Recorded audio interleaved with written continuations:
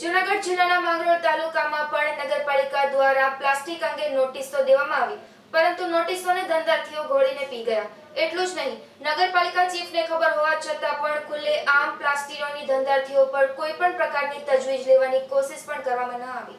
હાલ પ્લાસ્ટિક પ્રદૂષણ માટે જવાબદાર અને હાનિકારક સાબિત થયું હોય ત્યારે પ્લાસ્ટિક બેગ અને પ્લાસ્ટિકની કેટલીક વસ્તુઓ પર સરકાર દ્વારા બેન્ડ લગાવવામાં આવ્યું છે. મહાનગરપાલિકા અને નગરપાલિકાઓ દ્વારા પણ પ્લાસ્ટિક ધંધાર્થીઓને નોટિસો ફાળવી દેવામાં આવી છે. ત્યારે જૂનાગઢ જિલ્લાના માંગરોળ તાલુકામાં પણ નગરપાલિકા દ્વારા નોટિસો દેવામાં તો આવી, પરંતુ નોટિસોને ધંધાર્થીઓ ઘોળીને પી ગયા. એટલું જ નહીં, નગરપાલિકાને ખબર હોવા છતાં પણ ખુલ્લે આમ પ્લાસ્ટિકના ધંધાર્થીઓ પર કોઈ પણ પ્રકારની તજવીજ લેવાની કોશિશ પણ ન કરવામાં આવી.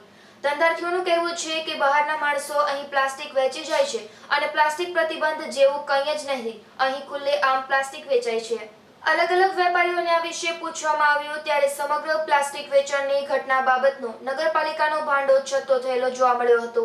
કેટલાક વેપારીઓએ ખૂણે કહેલું કે વેપારીઓ સાથે મળી થોડી રજૂઆતો પણ માંગરોળ નગરપાલિકાને કરેલી છે.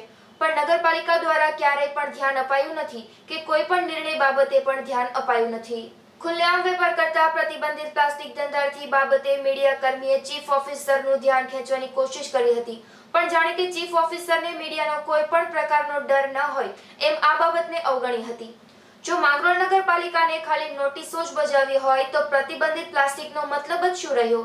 માંગરોળ તાલુકામાં પ્રતિબંધિત પ્લાસ્ટિક વેચાણ પર પ્રતિબંધના કાયદા કેમ ન લાગે?